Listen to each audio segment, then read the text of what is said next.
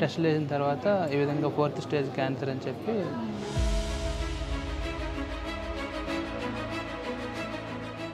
నాలుగు కట్ చేశారండి one side?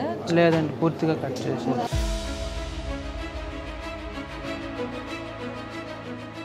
Sixty percent of the tongue it is spreaded already.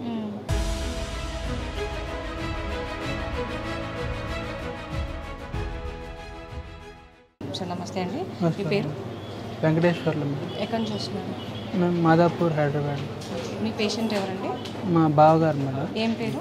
ఆయన పేరు కూడా వెంకటేశ్వర్లు. వెంకటేశ్వర ఓకే. వయసు ఎంత నలభై ఐదేళ్ళు ఉంటాయి ఏం క్యాన్సర్ సార్ ఓరల్ క్యాన్సర్ అని టంగ్. మీద వచ్చిందా? లేకపోతే నోట్లో? నాలుగు మీద వచ్చింది. నాలుక మీద వచ్చింది. ఓకే. ఎన్ని రోజుల నుంచి ఉంది సార్ అలా? అతనికి ఒక ఎయిట్ మంత్స్ బ్యాక్ నోటిపోతులాగా వచ్చిండదు మేడం. అప్పుడు జనరల్ మామూలు బి కాంప్లెక్స్ టాబ్లెట్స్ ఇటువంటి వాడితే. కొద్ది రోజులకి సరి అయిపోవడం మ్మ్. మళ్ళీ ఒక టెన్ ఫిఫ్టీన్ డేస్ తర్వాత మళ్ళీ కనిపించడం ఇలా వచ్చింది. After one month two months తర్వాత ఒక రెడ్ కలర్ మచ్చలాగా ఏర్పడింది నాలుగు మీద. ఆ, తర్వాత ఇంకా చాలా దగ్గరికి వెళ్ళారు.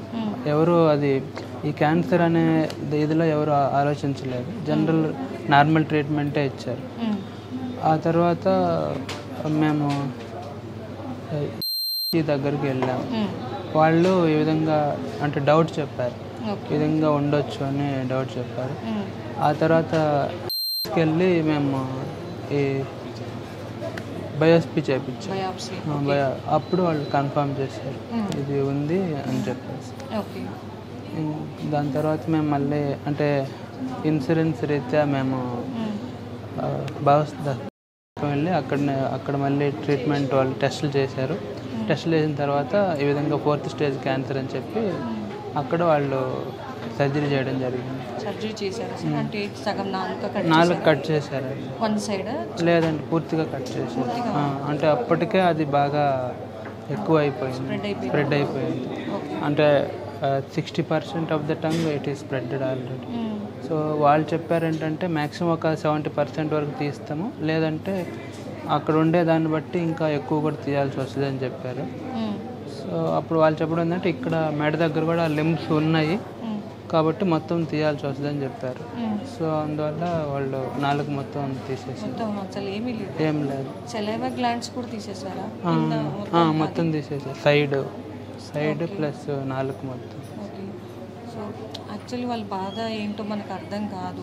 ఇప్పుడు ఏంటంటే పొజిషన్ ఎట్లా ఉంది? ఇలా ఫస్ట్ టూ మంత్స్ అసలు ఇన్పుట్ ఏం తీసుకోలేదు మేడం. జస్ట్ పైప్ ద్వారా ఫీడింగ్ ఇచ్చేవాళ్ళు. రీసెంట్గా ఈ కీమో ప్లస్ రేడియేషన్ అయిపోయిన తర్వాత కొంచెం బెటర్గా అనిపించింది ఆయనకి. అందువల్ల ఈ పైప్ ముక్కులో పైప్ అవన్నీ తీసేశారు. అప్పటి నుంచి కొంచెం కొంచెం ఇంటేక్ తీసుకోవడం స్టార్ట్ చేశాడు జస్ట్ కొంచెం చిన్న గ్లాస్తో వాటర్ ఈ విధంగా. ఇప్పుడు ప్రస్తుతానికైతే ఆయన ఓన్గా రాగి జావా లేకుంటే జ్యూస్ ఇలాంటి ఓన్లీ లిక్విడ్ ఫుడ్స్ మటుకు తీసుకుంటున్నారు. పళ్ళు తీసేయలే కదా? వాళ్ళు తీసేశారు మేడం. తీసేసారా? తీసేశారు. ఇంకా లైఫ్ లాంగ్ ఆ, ఈ సెట్ మొత్తం తీసేశారు. పైన కూడా? పైన ఉన్నాయి మేడం. కింద మటుకు తీసేరు దవడ మొత్తం కింద అంతా తీసేసారు తీసేస్తారు ఓకే. మరి లైఫ్ లాంగ్ లిక్విడ్ ఫుడ్ ఏనండి ఇంకా సార్కి? అంటే అవి వీళ్ళు చెప్పడం అవి ఇంకా మళ్ళీ వచ్చే ఛాన్స్ లేదు. సో కాబట్టి లిక్విడ్ ఇంకేదైనా సాఫ్ట్ ఫుడ్స్ ఏమైనా పెట్టు. సో మరి హాస్పిటల్ ఇప్పుడు మరి ఇక్కడ రావడానికి గల కారణం ఏంటి? ఎవరు చెప్పారు మీకు? అంటే మళ్ళీ సారు అంటే అక్కడ ఆ, చెప్పడం ఏంటంటే ఇది ఫోర్త్ స్టేజ్లో బయటపడింది కాబట్టి మళ్ళీ టూ త్రీ ఇయర్స్ తర్వాత మళ్ళీ వచ్చే ఛాన్స్ అయితే ఉంది.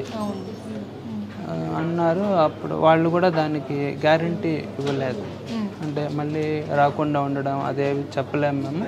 ఖచ్చితంగా రావచ్చు అని చెప్పారు వాళ్ళు. ఓకే. దాని తర్వాత మేము మా బంధువుల ద్వారా దీని గురించి విధంగా ఆయుర్వేద పద్ధతిలో ట్రీట్మెంట్ ఇస్తున్నారు. సో లా కొంచెం లాంగ్ ప్రాసెస్ అయినా బాగా రిజల్ట్స్ బాగున్నాయి అని చెప్పారు. అందువల్ల ఇప్పుడు ఇక్కడికి ఓకే నాకు ఇప్పుడు ఏమనిపిస్తుందంటే అసలు మీరు ముందే తెలుసుకొని ఉంటే ఇంత ప్రాబ్లం రాకపోయేది. ఈ హాస్పిటల్ గురించి ఆ నాలుక కట్ చేసేంత ప్రాబ్లం కూడా రాకపోయేది. రాకపోయి ఉండేదేమో. సో మీ బంధువులు వాడుతున్నారంట? లేదు మేడం. అతను అంటే వేరే ఒక అతను ఇంతకుముందు ఈ విధంగా సెకండ్ స్టేజ్లో ఉండి అతను సెకండ్ స్టేజ్లోనే ఫైండ్ అవుట్ చేశారు. అందువల్ల అతను ముందుగానే కనిపెట్టి తీసుకున్నాడు. ఇప్పుడు ఆయన వితౌట్ సర్జరీ రన్ అవుతుంది. ఇక్కడే మేడం. బాగుంది. ఓకే సో వాళ్ళు చెప్పడం వల్ల మీరు ఇక్కడికి ఇక్కడికి వచ్చారు. వచ్చాం. ఓకే సార్ డాక్టర్ని కలవండి ఓకేనా? డాక్టర్ని కలిసాక అసలు ఎలాంటి రిజల్ట్స్ వస్తాయనేది అప్పుడు మనం చూద్దాం ఓకేనా? సో మంచి జరగాలని కోరుకుంటూ మళ్ళీ నెక్స్ట్ వీడియోలో కలుద్దాం ఓకే? Thank you